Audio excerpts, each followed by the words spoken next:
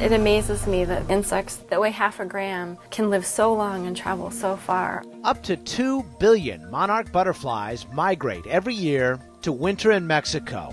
That's where ecologist Sonia Altizer goes to get a good look at them.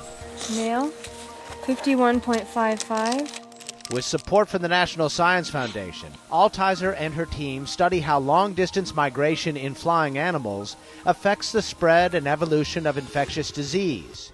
In monarchs, they study a parasite. So adult butterflies that are really heavily infected will look like this one. This is a protozoan parasite called Ophryocystis elektroscirrha, OE for short.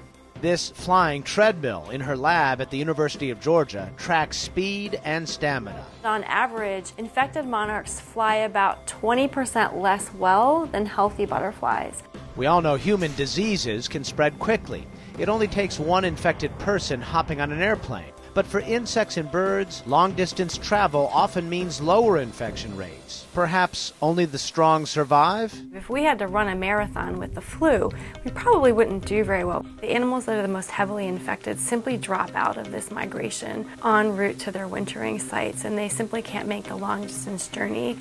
But human activities like habitat destruction and herbicide use are disrupting some of these long standing migration patterns. If we take the migration away and we're left with smaller remnant populations that don't migrate, we could actually see infections build up in those populations, and that could possibly increase the risk of pathogens jumping over into people and their domesticated animals.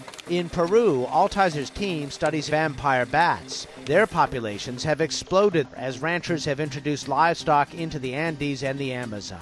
And more bloodthirsty bats might mean more rabies. One of the main goals we have is to try to understand what determines the frequency and intensity of rabies outbreaks.